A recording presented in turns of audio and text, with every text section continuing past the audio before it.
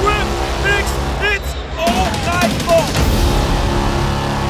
You look at defensively, number one ranked defense in the country when it comes to points allowed. Very aggressive, tight defense.